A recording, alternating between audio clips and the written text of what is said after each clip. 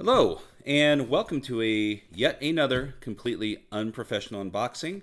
Scott here, and today is going to be an unboxing of something that I kickstarted some time ago, and it's taking its sweet time in production and whatnot, but uh, hopefully the time they took to, uh, you know, shave off or sand off the, uh, the edges on this thing has proved worthwhile, and we shall see what is inside.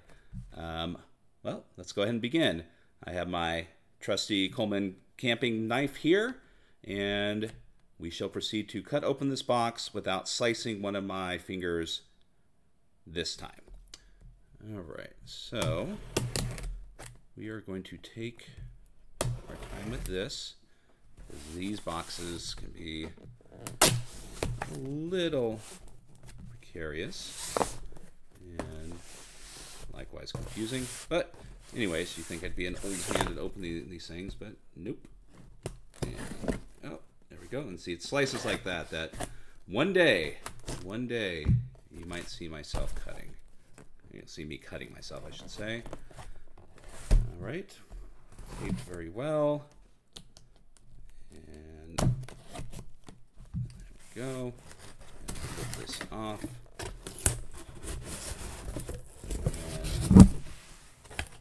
all right, so what do we have in here?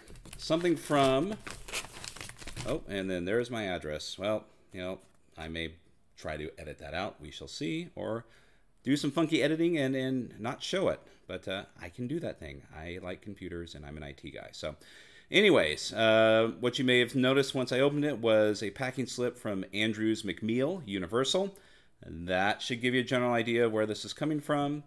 And inside is a variety of things. Uh, when I backlist some time ago, I did kind of go hog wild, as did a lot of people in anticipation of it. And even though it's been a long time, hopefully a lot of the steam uh, that came from this game when it came out hasn't subsided. Uh, but we'll see. I mean, the big thing is, is I won't know until we look at the game. But to start off with, we have a little envelope here. That, good lord. Well, Jesus. Okay. Well, I need to find an envelope like this for stuff that I Wow. Okay, it's going to require some scrubbing to get off. So what do we have in here? We have some dice and some coins to be utilized with the game.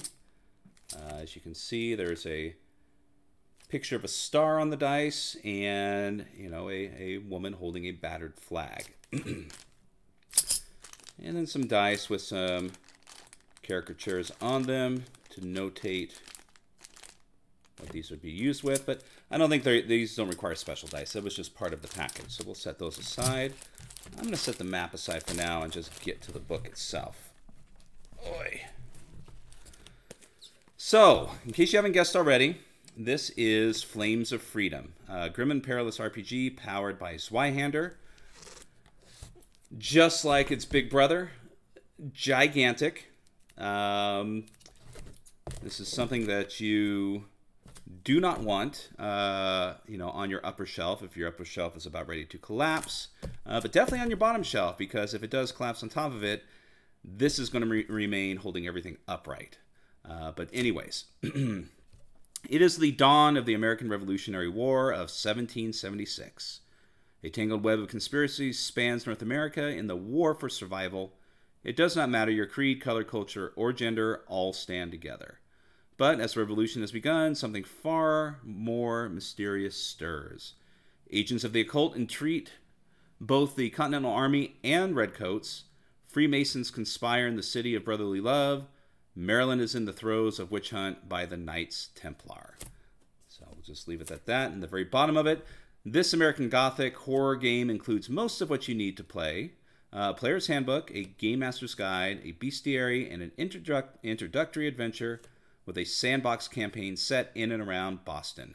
All that's left are a few friends, pencils, and a handful of dice. So, there is the book. Um, it's good looking cover. Obviously the cover is going to give you an idea of what it is. I'm just going to open it here and just take a brief little look at it. And exciting stuff, taking cellophane off. And off to the side we go. Just move that forward a little bit. Okay. Inside map. Flames of Freedom core rulebook. And we'll just kind of just just page through it. So we've got the table of contents, uh, preamble, basics of gameplay, creating characters, uh, an impressive list of professions, very similar to Zweihander. Uh, those definitely are going to need some uh, attention to detail as we read through them because um, I assume there's a little bit of personalization involved with those. Likewise, maybe a little tongue-in-cheek topical humor, which was the case with the other Zweihander book. Uh, as we go on, skills and talents, wares and weapons, narrative tools, combat encounters, healing hazards and horror, uh, Hexen Masters, Hexen Masters Almanac, uh, Life During Wartime, Indigenous Nations, Colonia Obscura, Historian Secrets, and Article 14, Threats. Oh, no more. Boston Besiege, which probably is the adventure. And here we are. We've got the preamble with some more artwork.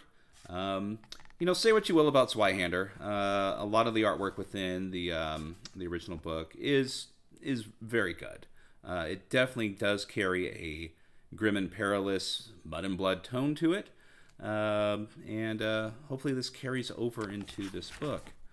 Um, so I'm not going to spend a lot of time on this. It's just too huge. We're just going to just maybe flip through a little bit. Uh, bookkeeper and a boatswain is one of your professions you can choose. Nice little ribbon, and so on and so forth. And yes, so, and here we are. So it's just going to go ahead and I mean this is this is something that you're not going to just sit down in one day and absorb. This is going to take some time to go through to get a general feel what the game is and what it's offering to your GM and your players. But like I said, the the artwork, you know, the artwork is is fantastic. Um, definitely, there's no question when paging through it and looking at the artwork, you know, what and where and when this possibly takes place. So go ahead and close this and set this aside. Um, we do have some advertisements in here. Um, along with Zweihander, Flames of Freedom, Neverland, uh, Into the Dungeon, and Choose Your Own Path of Adventure.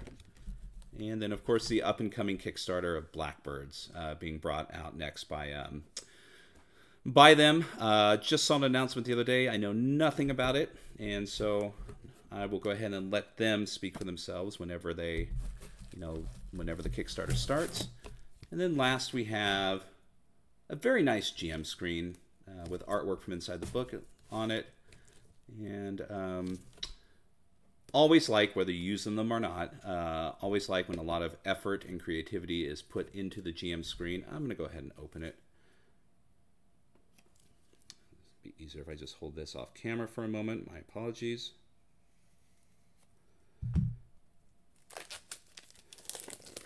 Okay. I don't I don't own a Zweihander GM screen. I couldn't tell you if they made one or not. I assume they have. But like with most GM screens, it's not just the artwork on the outside, which ooh, okay, let's let's highlight this real quick. So yes, you know, say what you will about GM screens. you know, the information inside can run the gamut of being extremely useful to not really providing much, but just them putting on what they can.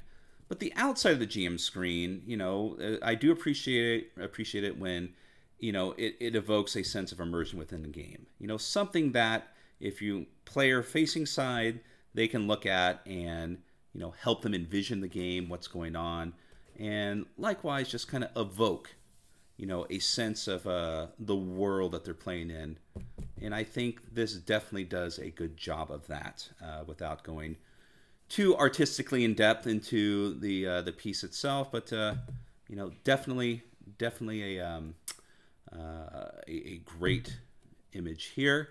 Uh, one thing to note, though, it was close stuff such as this, And I don't know. It's one of those things. Since it was bound in plastic, if this was in the in the wild at a retail store, not being able to see this definitely detracts from uh, you know from the attractive nature of purchasing it because you don't get to appreciate the image.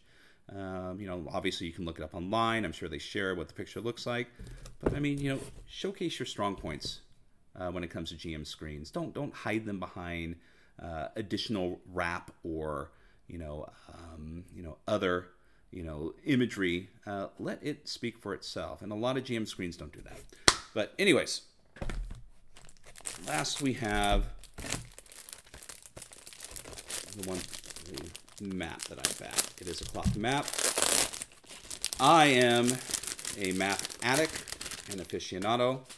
Um, a lot of games that I played are forgiven due to the, um, uh, you know, depending on the uh, type of negative qualities they might have within the game system itself, or whatever the case may be. But a lot of those are overlooked to me because I'm a giant pushover for for wonderful maps. So this is not going to show up on screen, but I'll just. So it looks like just from looking at this that it covers most of the northern territory of the uh, Hudson Bay Company, Can- Can- Canada area.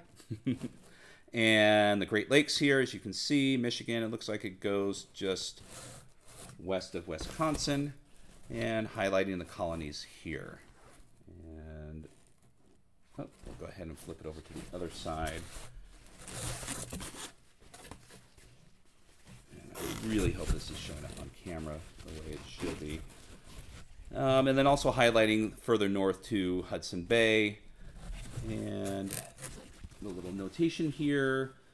Map of the eastern coastlines of North America, where are displayed former British colonies now forming the United States of America, along with notable neighboring dominions controlled by British and Spanish empires, based on surveys and ratified treaties circa 1776.